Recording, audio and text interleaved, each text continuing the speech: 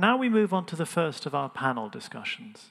And we're going to have a day where we're going to think about many different aspects of learning and education and focus very heavily on science and technology. But we thought we ought to begin in the broadest possible sense by asking what is education for? What is the purpose of education? And to investigate that, I'm delighted to welcome four panelists.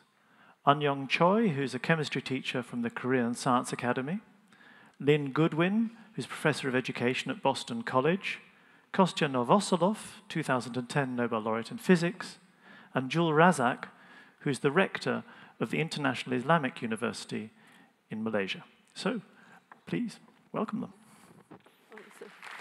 You're here. There's a seating.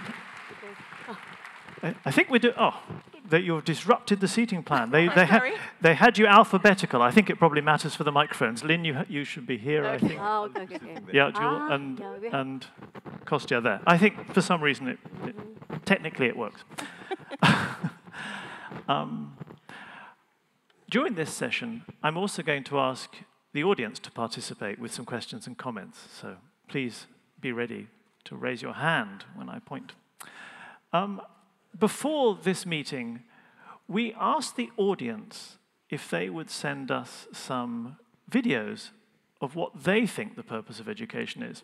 And it's pretty scary to hold your phone and record a video. And so I'm incredibly grateful to those brave souls who gave it a go.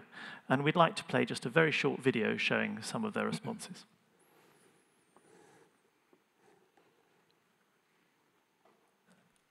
I think education is one of our most basic human instincts. Just like eating and sleeping, humans naturally have a thirst of.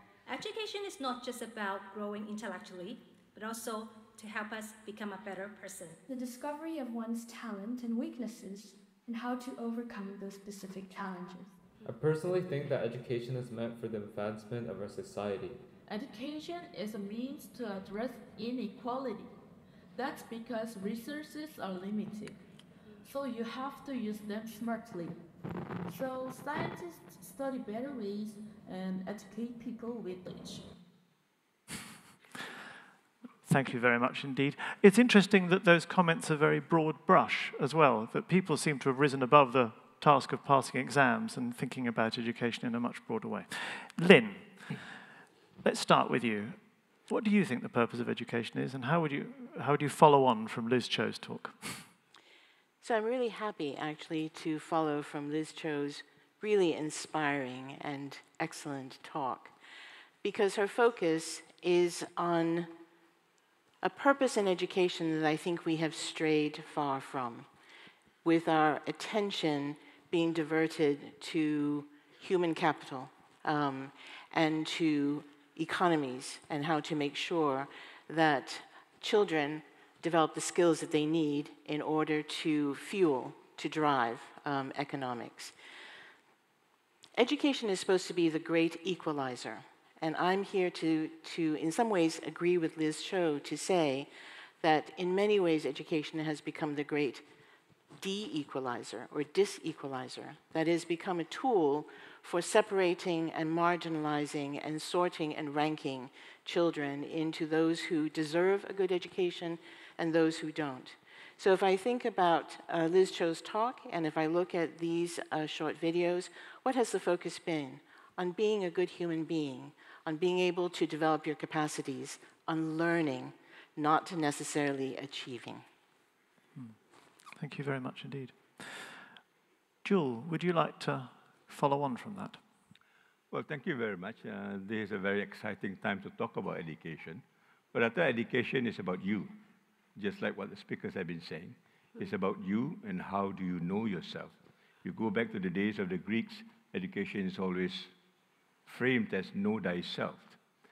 Unless you know who you are, in other words, unless you educate yourself in that sense, you will not be able to function in the society at large. So to me, education is about how to repurpose education. We've got talks like, you know, what is the heart of education? Some people say education, heart of education is education of the heart. In fact, Plato was said that if you educate without the heart, then it doesn't mean education at all. So I think we need to go back to the very basics of first being human being. So all the things that have been talked about, being kind, being caring, and all the spirit things and spiritual things that we talked about are the fundamentals of education. We need to start from that. I would rather believe that I'm a spiritual native rather than a digital native. I know who I am, and then I can then deal with whatever else that I need to deal with from my point of view. And that is what that connects us, all of us. We are all human beings. Korean, Malaysian, wherever we come from, we are all humans. And that is the glue that connects us.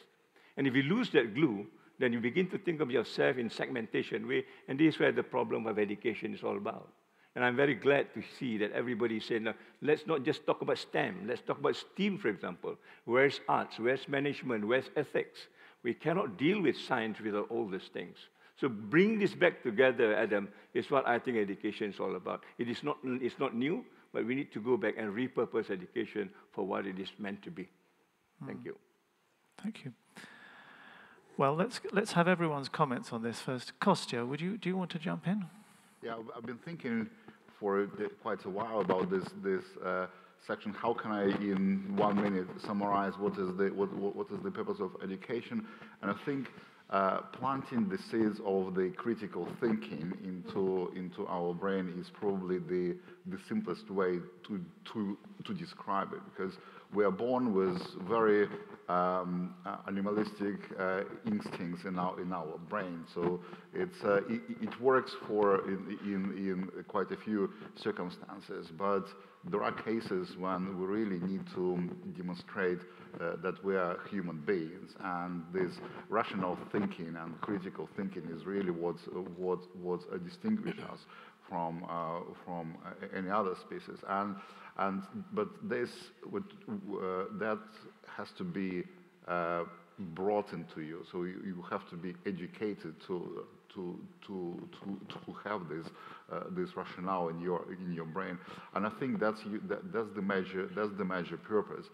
And of course, as um, uh, any uh, neural network or machine learning, you still need data to make the to make the to, to predict the, next step, and and and that's what is also required. I would generally avoid. Uh, mixing knowledge and education together, but actually some knowledge are, uh, are also important to, uh, to, to provide this critical thinking uh, apparatus into your, into your brain.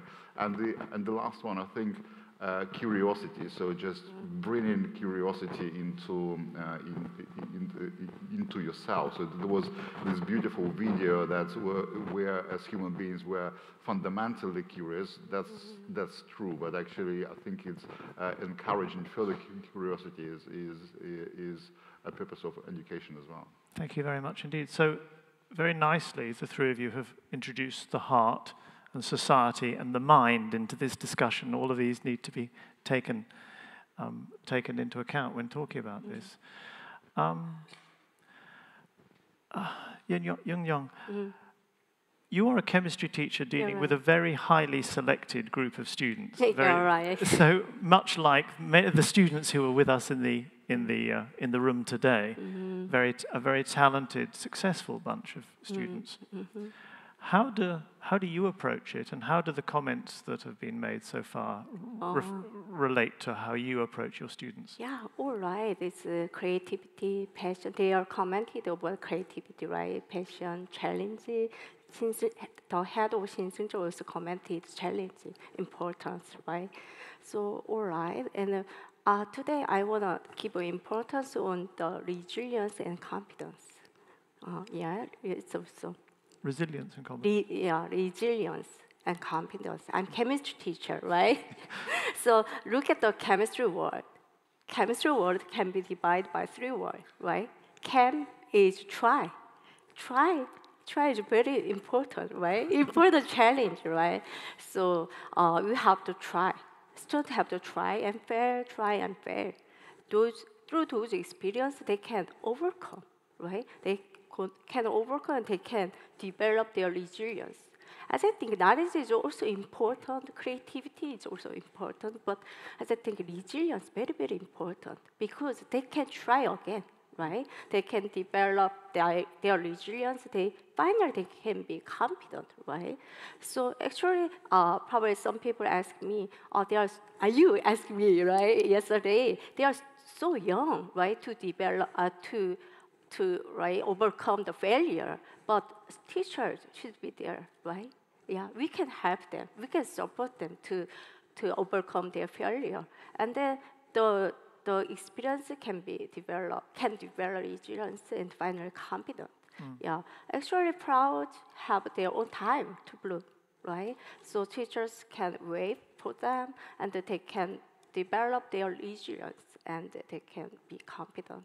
And also we have to, uh, we will provide, actually our school is a kind of pioneer in the kind of high school. We are the first school for the science gifted students. So we actually provided many, many programs, right? Kind of research. uh, Can I, can I talk more? Yeah. Well, Uh, yeah. maybe in a minute. Yeah, because I want to give everyone a Uh, uh, chance. yeah. But yes, your pioneering approach, Mm, um, teaching people that failure is okay, and Mm. I love the idea of allowing them to bloom. Um, that's something, Lin, Mm. coming back to you, that uh, not, education doesn't often feel as if it allows students to bloom in their own time. It's too pressured. You're right. Um, and it goes back to the very beginning of schooling when we were trying to sort of manage and organize massive numbers of young people. Um, and so we sorted them by age and we sorted them by grade um, without a whole lot of attention to the fact that there are you know, multiple diversities in any group. Uh, you know that from your own families. Uh, your brothers and sisters are going to be very, very different from you, even though you grew up in the same environment, you know, with the same uh, parents or family. Um, so the idea that our brains continue to develop throughout our lives, that learning is a developmental process and it doesn't happen on a particular schedule, um, that there are folks who are sort of quick out of the blocks um, as learners and others who are more of a slow burn and need uh, a bit more time. Um, not because they have, quote, special needs, but because they're different kinds of learners. Schools are just not designed um, and have not been designed um, to accommodate the human being as a mm. learner. Schools have been designed as managing organizations mm. to get people through, mm. um, you know, sort of a schooling experience to an end goal, which is a, a diploma or a degree. Mm-hmm. So I'll, I'll connect to Liz Cho again when she started out with all those wonderful rhetorical things that people say about what education should be. And we say it all the time. Those words are not new to any of us. But living up to those words continues to be a challenge. And part of that challenge is connected again to that sort of ranking and sorting, where fundamentally we have yet to truly enact a deep belief that every child is a learner, is capable, and is worthy of a good education. Enough love for every child is not happening yet um, in our society. And we make our decisions based on that how we spend our money, where the best teachers go, how schools are resourced, the list just goes on. So I think there's a lot of reckoning that we need to face. Hmm. Does anybody want to jump in on that? Yeah, that's.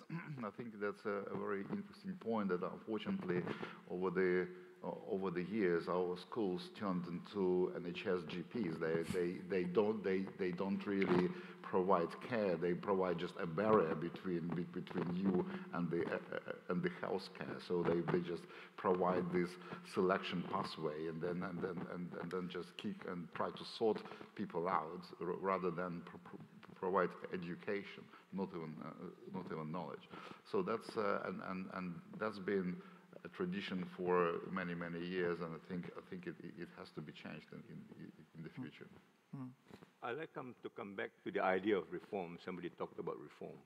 What sort of reform are we talking about? From my point of view, I think education has shifted a great deal because of the Industrial Revolution in the 1700s. Schools and universities now, to me, is no more than a factory. It's just how, how people produce goods. We are one of those products. We are called products anyway. And you are supposed to be marketed somewhere. And this is where I think the whole idea of education has shifted. I think we need to go back to what education is all about. And this mm-hmm. reformation is something that I think we need to think back. And I, I talk about repurposing because education, when it started, it started to be a better human being. Mm. How do you create a better human being in a society? Mm. School is about a small society that we learn how to function with before you go into a larger society. Mm-hmm. That's almost like a real lab. How do you function in a, in a school, which is a society that you need to practice whatever you learn to be a better human being, to create a balanced society, to create peaceful and harmonies. But if you don't do that in school, then the moment you go out in a larger society with a lot more challenges, you will not be able to function. And the pandemic tells us this very, very clearly. Most of the school have to close. Most industry have to close because we are not able to cope. There's no resiliency. The coping mechanisms of in terms, in terms of emotion, for example, are not there. So suicide rates are going up and all the other things that we know about. The next pandemic I'm worried about will be your mental health. Until and unless we deal with mental health as part of education, it's not something that you're going to sidestep or you know, push it aside because it has no economic value, and therefore you don't teach them. It will, go, it will come back and haunt you. So the whole idea of reformation, I think, needs to be very clearly understood of where we need to move and to lift up human being in a very dignified way. I agree with Lin. How do you level up society at the end of the day? If that fails, then I think education has failed in the general sense. Salutary words. Thank you. Okay. Resilience again. I'd love to get some comments from the audience. Um, you are, most of you are either in education, looking at all the wonderful students in front of us, or involved in education, or are educators. Does anybody have a question or comment? Raise your hand and wave it so that I can see, please. Here's one. Can we have a microphone? There are. Grace is running towards you with a microphone. Here we go. Thank you very much indeed. Okay, thank you for all the panels for the good comments on our education. And I can agree more to Lin's comment that education should be act should act as an equalizer, mm-hmm. but recently is acting more like a de-equalizer. So I want to ask that like uh, recently in Korea we are facing the problem about the education for the gifted. So what do you think like which way is better like educating everybody in every same direction or segregating the people like classifying them as the where they are gifted and give the education separately Thank, thank you very much for the question. So that's a difficult one, which many people have wrestled with. Do you, do you segregate people out? So I think that dichotomies are always um, problematic, right? So this kind of, do we do the same for everyone or do we single out folks? And, and I, I think that there's in between. So I think that there, one thing that we failed at doing is sort of um, providing a fundamental quality education for everyone. Um, so just beginning with that premise. Um, the second is this idea of personalized education. That's become something that we talk about a great deal. Um, so, how do we create um, classrooms, schools, and educational experiences that allow students to follow their curiosities? The fact is that classrooms don't allow um, the exploration um, because there's a timetable and a curriculum that one must deliver and get through. Um, there's a conversation about who's gifted. That's not a conversation that I'll enter in today, but I do want to ask the question how do we measure giftedness? And isn't it surprising who ends up being designated as gifted? Uh, typically, is someone who is more upper middle class or middle class, male, um, and in a US context, white. Uh, isn't that a problem? Uh, that should ask, cause us to ask that question.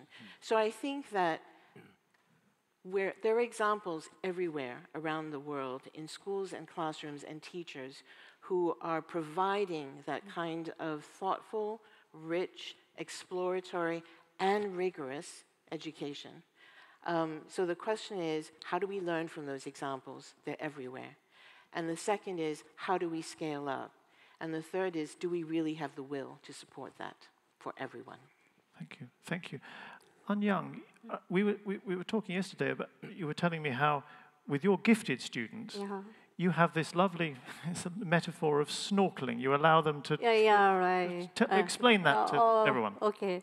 Uh, actually, knowledge is so vast, like the ocean. So imagine yourself snorkeling in the ocean. If you just uh, deep dive and explore uh, every area, and um, eventually we'll run out of breath, right? Uh, so what can you do? We cannot explore everywhere, right? So we have to scan the surface and we have to find out the spot interest us, right? It's education exactly same, right? At first we have to scan the surface. So we have to provide many areas to students, and the students have should have freedom to select their major, their interest, what they like, and that they can probably deep dive and immerse themselves and they can passionate and creativity. So that's why I want uh, students should be exposed to many research activities, many international exchange programs, and some elective courses, many elective courses, and then they can be uh, probably a trigger. It can be, it can trigger curiosity, lead oh. question, more creative, more passionate. Hmm. Right. Hmm. So, So yes, with the- so, uh-huh. yeah, it seems to fit perfectly with the mm. purpose of education being to mm. find what triggers one's mm-hmm. curiosity. I think, I think we're, so they just coming back to that very important question. So I think mm. the, the, uh, the, the big problem here is that when we talk about uh, uh, education, it's not the, same about uh, as uh, uh, when we talk about schools and universities, because schools and universities not, are not only uh, giving the function of education and, and providing knowledge, they're also giving the functions of social lifts, of the, of the of great equalizers and, and so on. And as if we uh, and those are competing functions. And if you keep providing these uh, controversial demands to our schools and, and universities, you, we, we keep getting these, these uh, strange results that uh, we have, rather than equality, we get inequality from, from the education. Thank you. But are, are they conflicting demands, Jewel? Do you think? Do you think that, that you can you can cover both? I think we can have both. I think we need to balance. Life is about balancing. Yep? So when you go to one extreme and leave the other extreme, then I think this is where the problem starts. I begin to believe now, after the pandemic, that school has been too much on livelihood, or education has been too much of livelihood. Everybody wants to come to university because you want to be successful in a, in a certain way. Somebody say this is success, you know, a celebrity or whatever, fame and names. Yeah? But we forget about life altogether. So when the pandemic comes, you do not know how to organize our life. When we are locked down for a week, we can manage. But two weeks, three weeks, and more after that, we do not know how to manage life. We do not know how to deal with ourselves when you're alone. The whole problem of now is about loneliness. Despite all the networks that we talked about, loneliness is the biggest problem. And how does this connect? You've got all the networks, you get all the, you know, the likes and whatever it is that you're used to, but yet loneliness is a problem. And how do you deal with this? I think we need to come back to this balance, uh, Adam. How do you balance livelihood and life? Mm. You know you have got so much in livelihood, but what is your life? Some successful people, sometimes their lives are very miserable. Mm. People who are economically not well off, their lives sometimes are better. They are more happier. They are, you know, they're, they're cheerful. They don't grumble so much. So to get this balance and to bring it back into education, and I do agree that education is not just classroom. The whole world is about education. You are here, it is part of mm. education. So how do you broaden this perspective, the perspective that everywhere you go, you learn? I come here, I learned a lot when I see all the things that have been done. So learning is a process that goes on 24 hours, 24/7. How do you deal with this? I think we, this is what I think the issue for the future. Can I ask a provocative question? So just uh, in the long run, how your students are, are doing? So, uh, so um, how many are, so in comparison with the regular school? Uh, So it's how many of them are CEOs, I don't know, or professors or doctors? Uh, so actually, uh, we are, our education purpose to nurture well-rounded individual, actually for society, but it's uh, like Nobel laureate, it's a special purpose, it's not like Nobel laureate. Let's, cut, let's cut that. But actually, our uh, actually initially we try to nurture uh, young people to be the uh, actually it's honestly it's a Nobel laureate really it's uh, science Nobel laureate. nurturing laureates. okay. Yeah. Uh, Yeah, scientist, yeah. scientist, yeah. Uh, and then finally they can contribute to society, right? It's uh, as uh, society. But now we want to make them happy, right? It's uh, individual happiness is very important, right? Mental health, like that. So actually we are not uh, nurture some kind of is the first I commented well-rounded individual, right? So they can less stressed and much happier, right? Much happier and also creative, and they can also function in the society, right? It's, it's very ideal, That's your ideal, idea, but okay. yeah, It's, it's difficult. think, Yeah, it's difficult to measure how people uh, have done, isn't it? Yeah, right. Um, let's have another comment, please. There's a lady here, please. Yes, thank you. Thank you.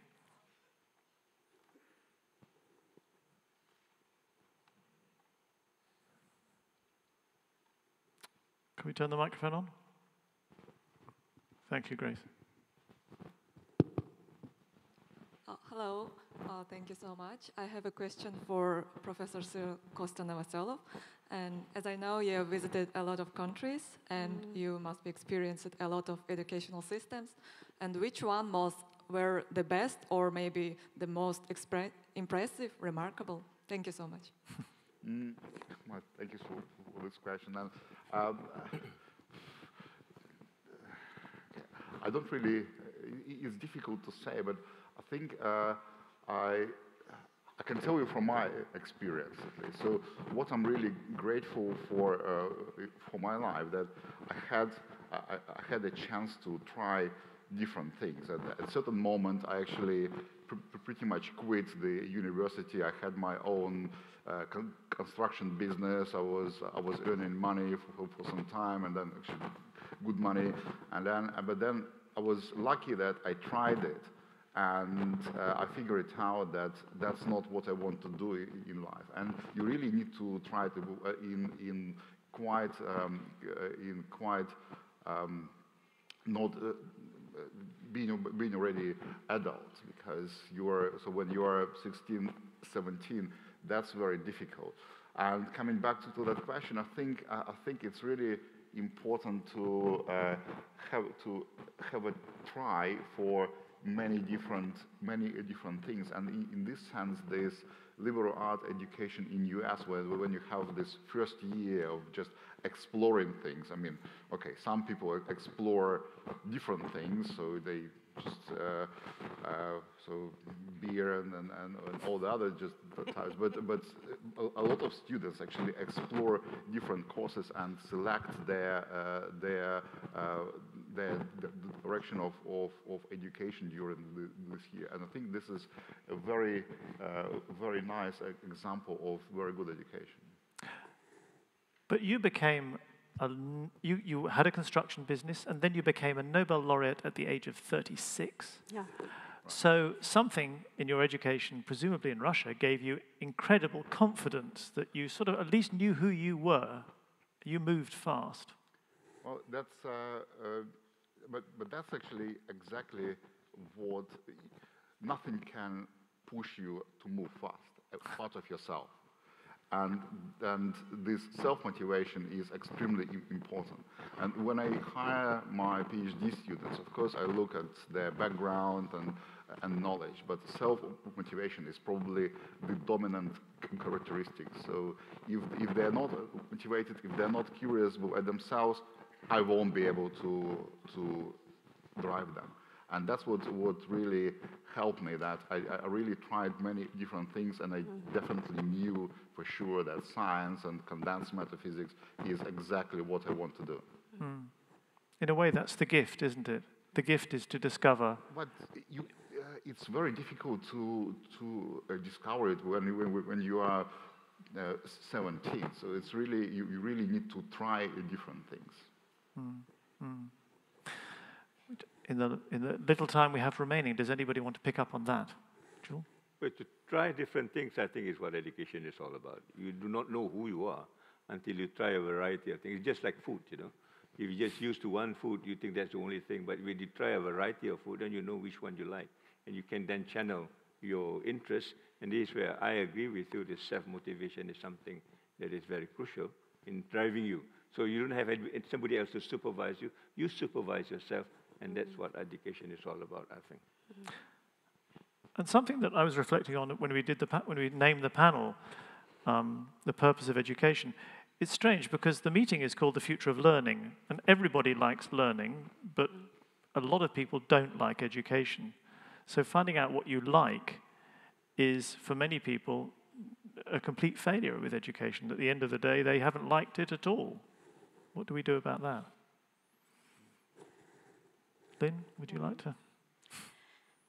So I've been thinking about this whole idea of interest um, and finding out what you like. And I completely agree uh, with my fellow panelists that there isn't enough um, sort of exploration and experimentation in schools that enable young people mm. to try things out. Quite often, you're trying things out for the first time at university level, um, mm. and and sometimes you know you take the beer route because you've never had any experience sort of being thoughtful about your own education. Um, but I want to talk about motivation as well. And sometimes we think of motivation as something that's sort of imposed from the outside or something that some learners have and some don't. Um, but I want you to think about a young child, a five year old, who is uh, completely engrossed in something for hours. They say children can't sit still. Well, they can sit still for things they really want to do. Mm. If you think about someone learning how to skateboard, have you watched young people learning how to skateboard for hours on end, falling, falling, falling, and getting up? That's motivation. Mm-hmm. So, motivation is connected to this desire mm-hmm. to attain something that you care about. It's true. In the case of my teenager, though, it's probably spending hours looking at their telephone doing that, unfortunately, is all we have time for on this panel, but it's been a lovely start to the day. Thank you very much indeed to all of you, and thank you for the questions. Um, we'll have more chance to have the audience participate later in the day. In a short while, Lin is going to moderate a panel following on from this one on the important question of equality. And to set the scene for that, uh, I'm going to invite Anna D'Addio, who is a senior policy an analyst at UNESCO, to give an introductory talk in which she'll also touch on the question of how, how the digital revolution is changing education. S but for now, to all my panelists, thank you very much indeed. Thank you. Thank you. Thank you.